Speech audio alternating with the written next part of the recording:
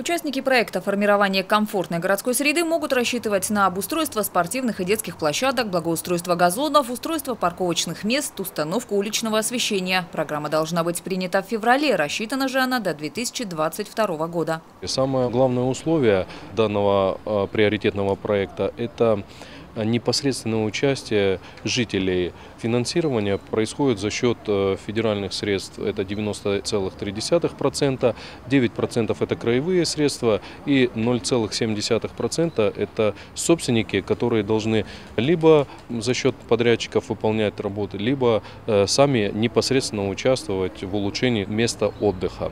То есть доля собственников может быть и не финансовая, а в виде общественной деятельности. Организация субботников также пойдет в зачет.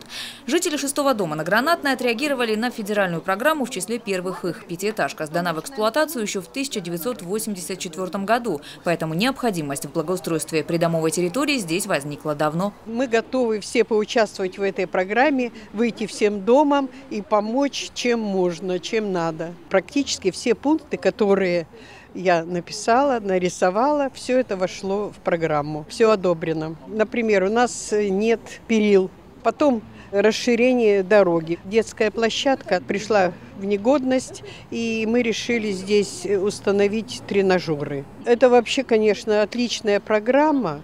Благодаря ей, этой программе, мы сможем благоустроить свою придомовую территорию, и жители будут довольны, счастливы, и дети, и взрослые.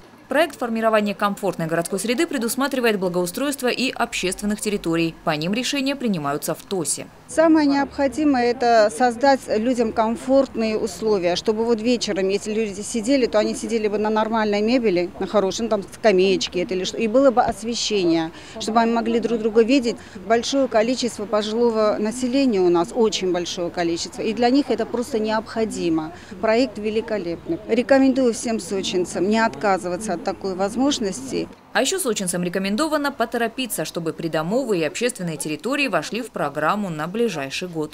Инга Габеша, Михаил Дубинин, телекомпания «ФКТ».